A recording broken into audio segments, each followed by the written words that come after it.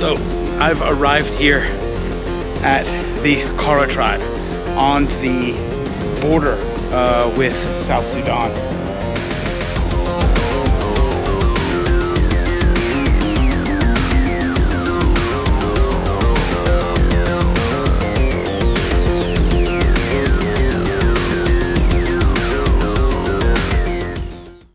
I am uh, just off the road in South Ethiopia and I pulled off to the side of the road because I want to show you these large termite mounds that these termites uh, they build vertical. So these they're they're absolutely massive. Look at this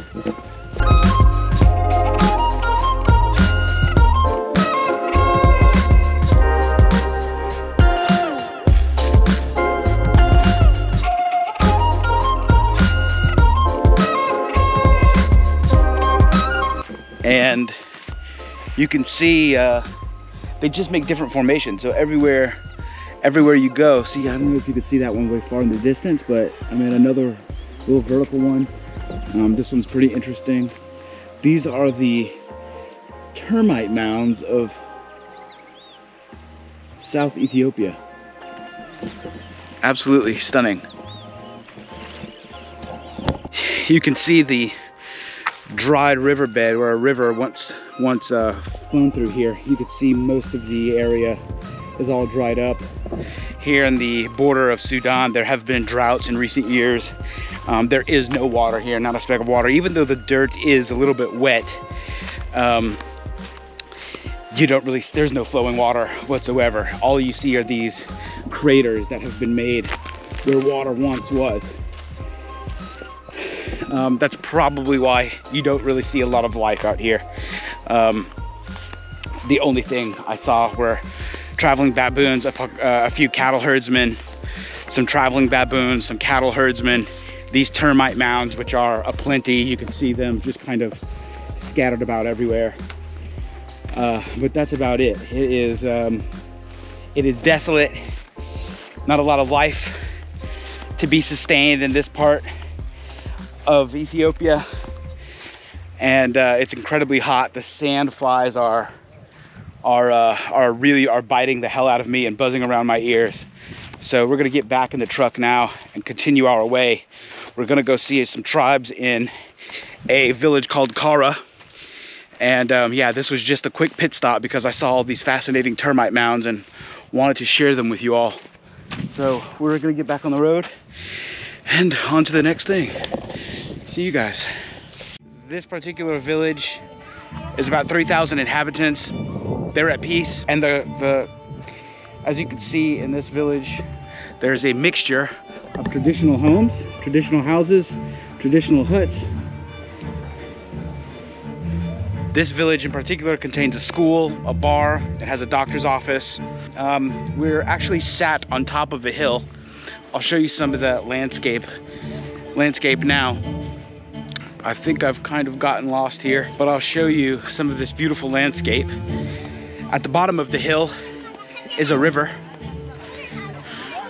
Look at these little ones. Say hello. Say hello. Just walking through here, you can see the vast landscape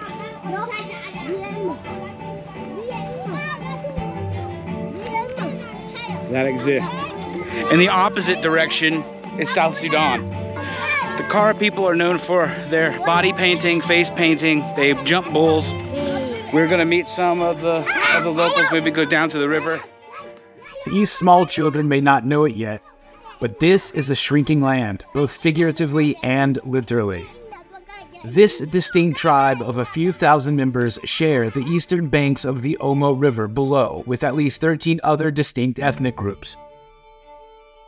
While most are at peace with each other and work out ways to share grazing lands and water from the Omo River, it is not always so easy, especially in the face of a larger state government that wants to quickly modernize and use the land and water for industrial plants.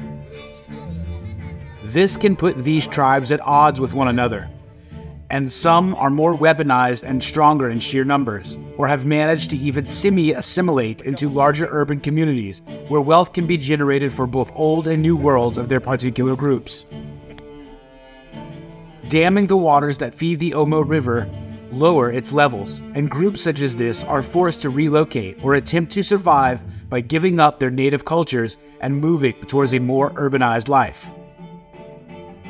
If they are not projected in some way, this video will contain some of the last images of the last generation of the Kara people of South Ethiopia.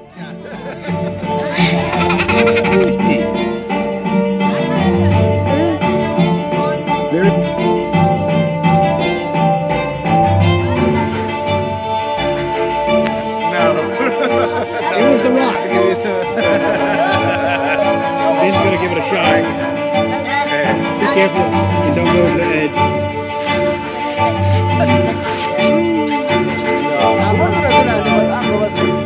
No.